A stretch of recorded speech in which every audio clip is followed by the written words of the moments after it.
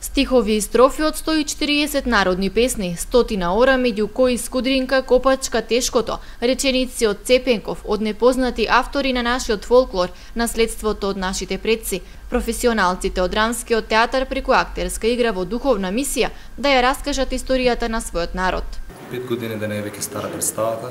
Станува збор за оној да, оној 22 декември 2012 година кога требаше да биде крајот на светот.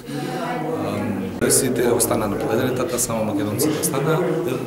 Исчезна само 6 македонци што биле во Алшар, планините таму и она што од нас ќе остане, да речеме, на одјавната шпица од светот ќе биде секако она што е нашето највредно. Тоа е песната и играта. Она што никој не може да ни го одземе. Можат на било каков начин да ни одземат се, меѓутоа она што е ДНК-то на овој народ никој не може да, да го одземе.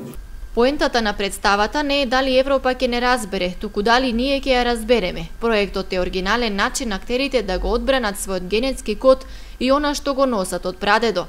Четворицата последни македонци ги играат Лилјана Драгичевиќ Пројковска, Трајанка Илиева, Сања Арсовска, Рубен Муратовски, Зоран Лјутков и Игор Ангелов, а виничани благодарение на Домот на културата Тошо Арсов имаа можност да ја видат 58-та изведба на представата.